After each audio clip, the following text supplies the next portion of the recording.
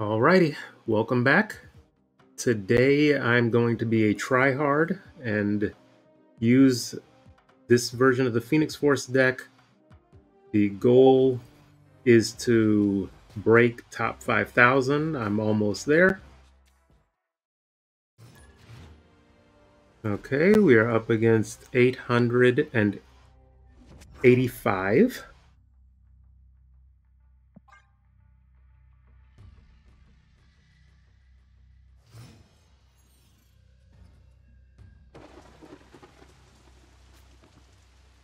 Okay, we're going the dagger Phoenix Force line again.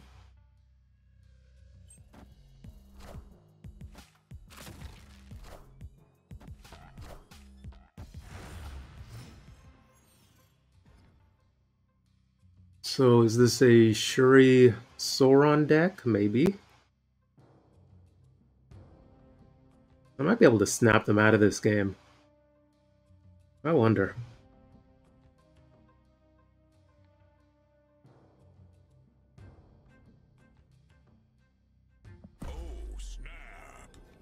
I'm going to play Carnage here.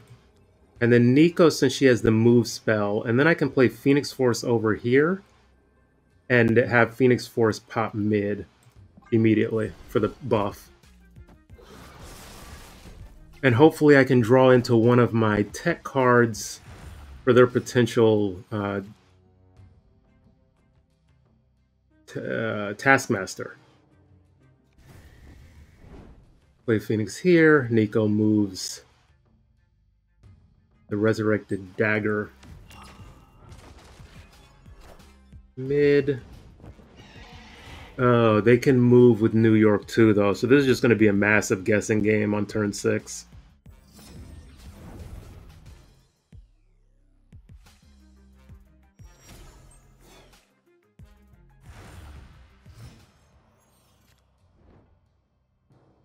Okay, okay, okay. What do I want to do?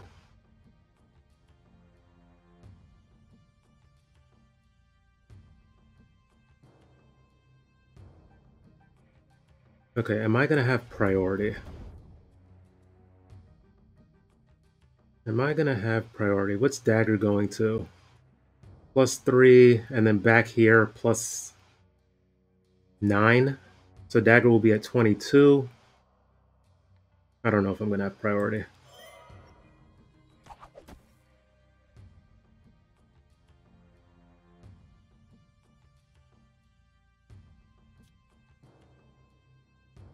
And then a Shuri here. Uh, New York is messing me up as much as it's going to mess them up. Maybe I can dissuade them from moving to New York. Oh, I forgot the extra card on Dagger. Yeah, so I will definitely have priority here.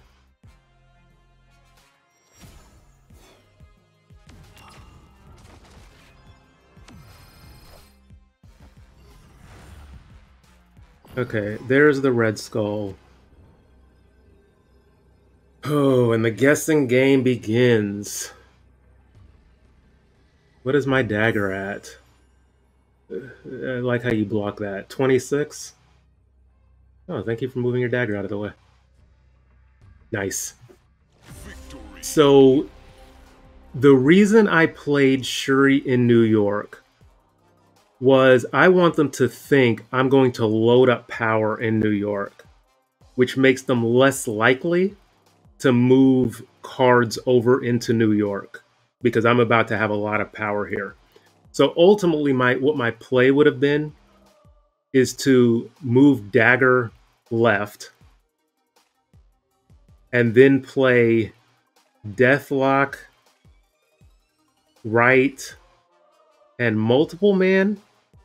And then again it's just a guessing game. Do they move these out? Do they keep everything here? Uh, if i move dagger over here which is what i was going to do uh, they didn't play sauron so they can't play Ebony Maw left or add power left. They played their other one cost, which is zero. So I just win left, period. So with if, if I move dagger over, Uh, they have 18 here. I have 12, 13, no, 12, 15. And then multiple man. So I would have played multiple man mid because it would have been a tie, but I would have gotten the buff from Muir Island to put me over the top here.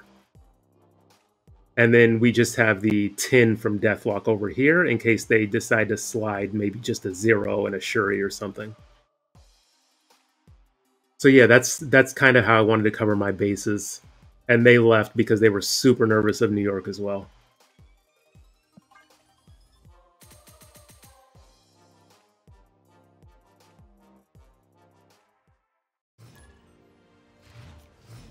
Okay, we are up against Grizzly. Mindscape is perfect if I can get Phoenix Force.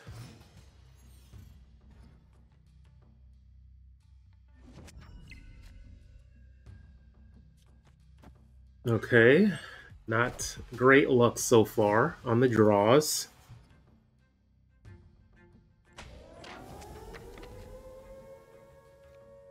This is our only line, so we will continue on down.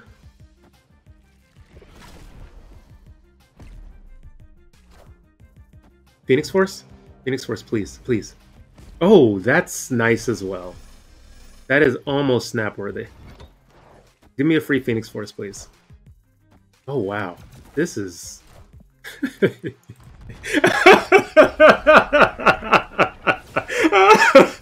stuck with... Oh, they're stuck with three power? Oh, that's hilarious. Oh, what a turn of... the Gladiator destroys the Nimrod, and then they get locked with Havoc, and they get denied a draw with Black Widow. What a uh, what a sequence of events there. Fantastic. Free cube. Boy, I wish I would have snapped earlier. Uh, this is a good example of how Mill can backfire on this deck. If I already have a destroy and they pull Phoenix Force Phoenix Force is never destroyed because it merges with a card in that lane. Uh, so I've already done the destroy. It will merge with, bring back and merge with that destroyed card, and it'll be safe no matter the power. Uh, if Gladiator clearly destroys destroys Nimrod, that's fantastic. I get 12 free power uh, total, and then Phoenix Force can bring back the destroyed Nimrod, and that'll be an 11 point Nimrod that I can destroy further. Uh, Gladiator can also, or Yondu can also destroy my dagger or multiple man if they are still in deck, and then I can play. I get spare to destroy. So there's a lot of ways how playing against Mill uh, can backfire for my opponent.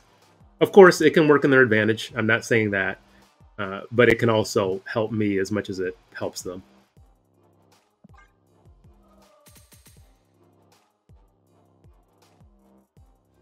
Uh, the thing with trying to hit a number, you cannot get so focused on that. The same thing with trying to get to infinite. Marichiso? Chisio? Uh, if you get focused on a number, you start to make bad decisions. So it's. I don't think I play the dagger now because I have Shuri Nimrod in hand. And on the last turn, I can always use dagger and ghost spider, so I leave that option open for me. Uh, Big Sag that you got the Infinite, got the Drac, Yonder the More, but sadly the Hela. Yeah, that is rough. These playing against those Hela decks, uh, it's the Hela Casino. It's it's tough. Uh, fast forwarding through discard is tough too. Very tough. Uh, uh, I think I skip again. What do I? One, two, three. So I'm going to need to play a card next turn. I guess it's going to be Polaris. Uh, just play Polaris for the stats. And then we will do Shuri, Nimrod. I don't really have my Destroy cards. I don't know what deck this is. They've only played Magik.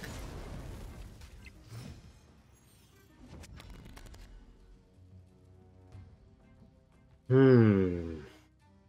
Oh, is this what? I, you know what? Just for fun, uh, even though I want to hit 5,000, just for fun, we are going to show the bringing back the Nimrod line. So we're going to play Nico here. Now, when you bring back a Nimrod, you better manage your board space. So we're actually going to bring... So I'm trying to just spread out my power. Because they have two over here, I'm going to match their two. So if I need to go taller in other lanes, I can. So we're going to intern. I'm still afraid to snap because I don't know what in the world. This is a Living Tribunal deck. Is it a Living Tribunal deck? Why do they have Red Hulk if it's a Living Tribunal deck? What kind of deck is this? Okay, anyway. Uh, oh, maybe it's a... Uh, maybe they have Zola? And they can Zola their Red Hulk? So we just need to manage priority? Uh, I can always Sean. Uh, so where do I want to play this Nimrod? I think I want to play it mid and get a Nimrod here, Nimrod here, and then I can play Phoenix Force and Carnage mid if I can draw into Carnage. If not, I'm just bringing back a single Phoenix Force. Uh, so this deck specifically, it is what in the world are you up to? Oh, thank you for that gift in Negasonic. Can I snap again? uh, I'm going to play Phoenix Force here, clearly, so I can get two without needing my uh, Carnage. And I'm not going to play any other cards. I need to manage my board space. So this deck, uh, is it reliant on drawing Nimrod? There are two main winning lines main winning lines. There's plenty of winning lines, but two main ones. One is your multiple man or dagger, destroy one of those, and then bring that back with the Phoenix Force. The other is your Shuri Nimrod uh, destroy line. So it's reliant on you drawing one of those two, but you don't need to draw Nimrod. Uh, but you do need to draw one of those two lines. Uh, and I clearly have no clue what deck I'm playing against. Uh, so we, the plan here is going to be to stack two lanes with as much power because I'm afraid of them being a oh that is a scary red hulk uh, so if I play Nimrod here that's 22 power left. That's 22 power right that better be enough. Uh, and then I also have my Venom. And what else can I play? What is the maximum amount of points? Maybe I do Shuri Venom? Yeah, the Shuri Phoenix line is fantastic as well. Uh, there's so many. That's why I love this deck. There's so many cool and interesting lines. Uh, they're not a Cerebro deck with threes and twos. I wonder if they retreat later. How do they match all this power across these lanes? Let's find out. Maybe it's uh Hella... Hela discard? MODOK Hela? And with Living Tribunal maybe? But this is a lot of power in these lanes. So if they can if they can beat this, GG's. And you see how we really had to manage our board space.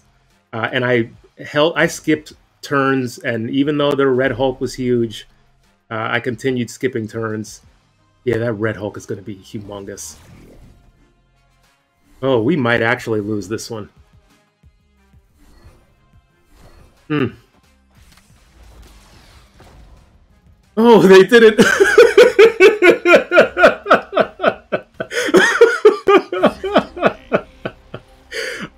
hilarious. What a game to break 5,000 on. That is absolutely hilarious. So, they took the 50 50. They had two cards in deck, which clearly was Supergiant and uh, Hela. and, they, and they whiffed because these this combination of cards, man, uh, a 27 Red Hulk, a 20 Infinite. I would have needed I would have needed some fantastic luck, and I don't I don't think I win this at all because of Iron Man. I don't even think Iron Man and Onslaught needed to go in the same lane. Uh, one, two, three, four, five cards. Uh, they had one, two, three, four, five, six spots. Yeah, they would have. Wow, what a what a gamba! Unbelievable. and uh, and there we go. Uh, we we broke five thousand on a Hela casino game. I will I will take it.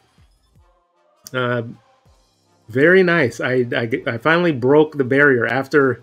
So I've been playing streaming now for an hour and five minutes, and for a full hour I've been bouncing uh, between the in the five thousands from five thousand nine hundred to five thousand and fifty. Uh, never quite breaking the 5,000 mark. But we did it. We're up against Linsanity for any basketball fans. Uh, we what is a retreat? Yeah.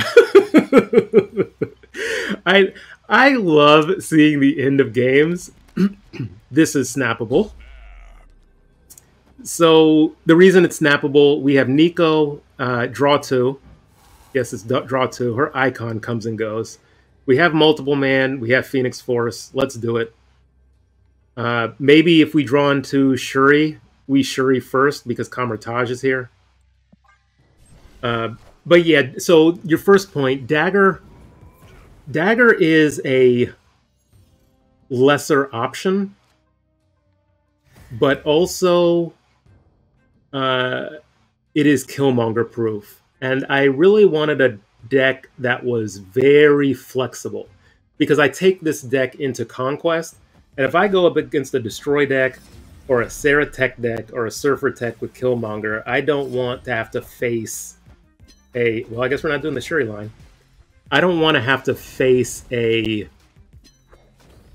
Uh, a deck where one of my winning lines is obsolete, where I just can't use it.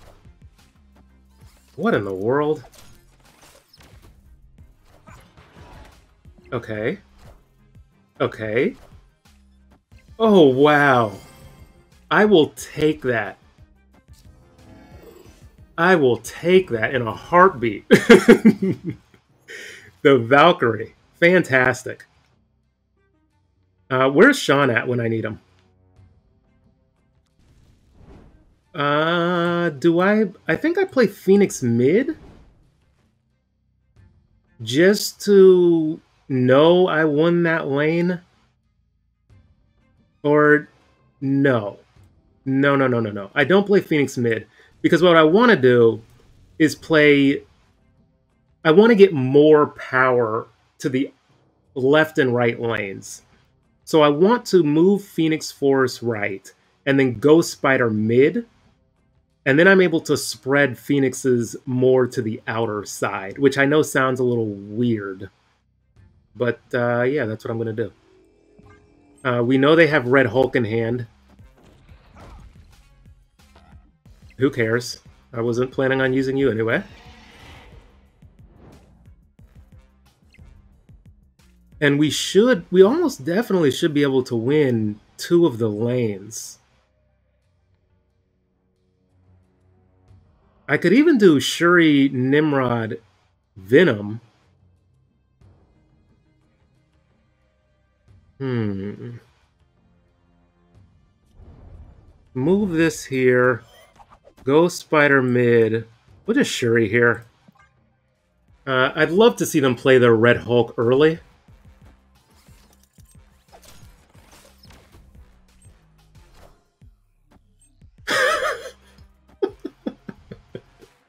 I am glad I moved multiple man there. But we did use our Ghost Spider. So I still could play Nimrod there.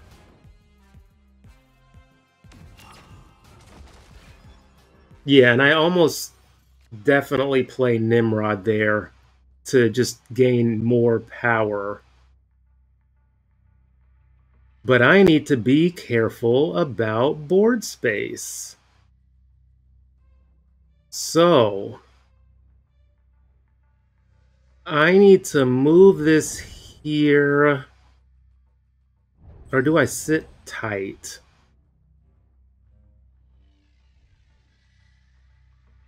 Maybe I play Venom here. I think I'd play Venom right. I think I play Venom right because then I can lock in, then I, I have more options. So if I'm doing that, I have three board spaces here. So then I do want to fill up my lanes because I can always move over and I have priority. So I think that's what we do. We stop them from sending any junk over my way.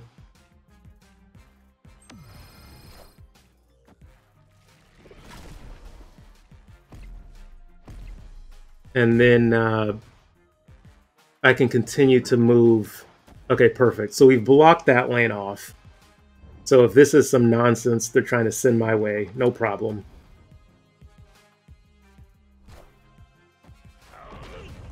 Okay, perfect. Now I just need Sean. Can I please draw Sean? Will you? Oh yes, I have to draw Sean. Last deck. Okay, here we go. Uh, this better be a super easy win. Like, come on, please. Let me let me get out of here on a nice, easy win. Um, uh, let me think through. I don't think there's a way to get a multiple man to bounce back over here. That's that's what's going in my head right now. I'd love be, to be able to play Sean and then have the multiple man that I moved out bounce back but there's just not going to be enough space, I don't think. So I'll give him a thumbs up. He likes my, uh, or she likes my Venom. Yeah, I don't think there's any way to. So we're just going to load up this side. Play our Sean and call it a day. And thankfully, they're... What a clutch Doc Ock. Is that enough? To, I don't even think that's enough to win. Right. Yeah, yeah, yeah. GG's. Or as they say, a casserole. Shang-Chi wanted to hide at the bottom of my deck, but thanks to Limbo, we were able to draw him. Uh, and Nico, of course. Can't forget Nico. So there we go. This is how we will end the stream. Did we get back above or within 5,000? However you want to describe it. Oh, we did. Look at that. Very nice. So, uh, hour and a half. We broke 5,000 and actually got to finish in the top 5,000. Uh, that was my goal. Honestly, that was my goal for the season. When I, I usually hit infinite in the first day or two, uh, or the first few hours after of game time. Uh, I think this season it took me five hours based on my phone usage that I looked at, uh, and it was exclusively using this deck you see here, uh, just good snapping and retreating. Uh, so I, I was able to get to infinite fairly quickly, and I usually do most seasons or every season. Uh, I'm trying to be a little humble. Uh, so, but once I hit infinite, I usually just go to conquest. Uh, I have a ton of conquest borders. Yeah. Uh, so I have a ton of infinite conquest borders. That's usually where I live after I get uh, infinite.